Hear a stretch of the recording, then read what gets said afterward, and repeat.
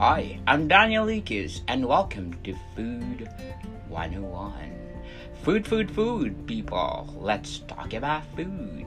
To create a unique, delicious, and outstanding food, we need to know the different kind of cuisine. Last season, I talked about French cuisine, Italian cuisine, Japanese cuisine, and Spanish cuisine. And today, I have Chef Richard for my second time. Second time. Yoo-hoo! We're gonna talk about what his favorite cuisine. Okay, Chefy, please do the honor. My favorite cuisine out of all four of those would be Japanese.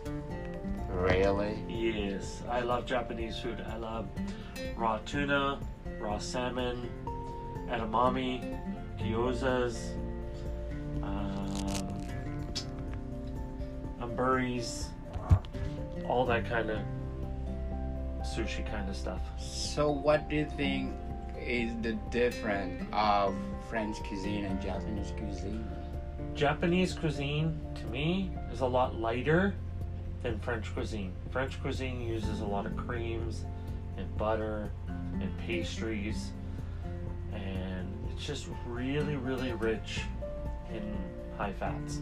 So, you're saying that uh, Japanese cuisine is good for people, you know, having lose weight or Well, I'm on a keto lifestyle right now, and Japanese cuisine offers a higher protein mm-hmm.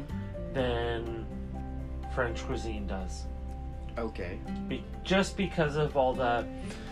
But with French cuisine too, it's good in your keto diet if you stay away from the pastries. You can eat the fats, you can eat the proteins, you can eat stuff like that. But for me, I just love fish all around. So, are you recommend a keto diet to everybody? No, not. I don't recommend any diet for anyone. If you're gonna do something, it's got to be a lifestyle change. You can't consider it a diet because diets are. You consider it a diet, you're gonna fail. That's why diet industry is a billion dollar a year industry because people fail all the time. If you're gonna do something, make it a life change. Just don't consider it a diet. Very well said, Jeffy. So let's go to the pandemic. Uh, the government is issuing a mandatory vaccination. Well, mandatory vaccinations are only in certain areas. Um, my biggest thing about the vaccination is the vaccination has to reach a certain percentage point in order for there be to be um, what's it called herd immunity. Mm-hmm. If you don't reach that amount in the vaccination, there will be no herd immunity, and then people continue getting sick, and people get continue dying. And the biggest problem is pe- a lot of population think that just because the vaccine, you're free from getting COVID.